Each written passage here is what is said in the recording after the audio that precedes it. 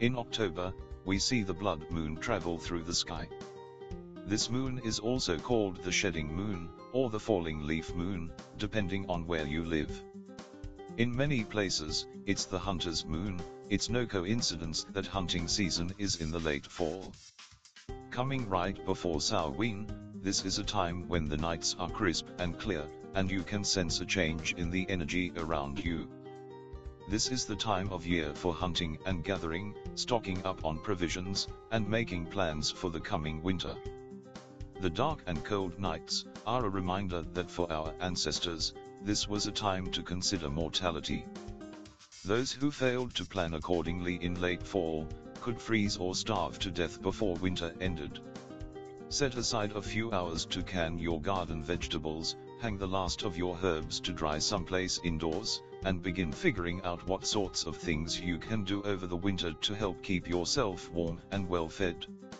If you knit, sew, or crochet, stock up on yarns and fabrics so you can begin working on new projects when it's too chilly and dark to do anything outside.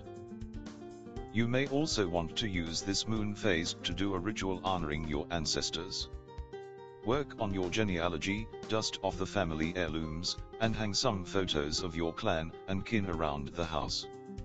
Decorate your altar with symbols of the Samhain season, as well as with items that help you connect to all of those in your bloodline.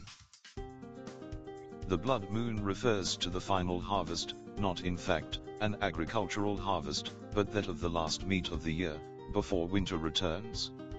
Appropriate, of course, as Samhain is the final harvest festival.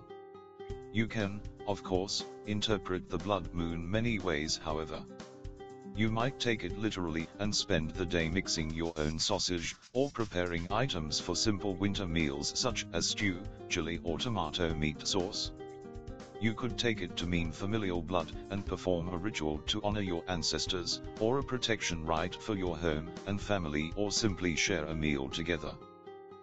Keep in mind that this is the season, when the veil between our world and the spirit world are at its thinnest.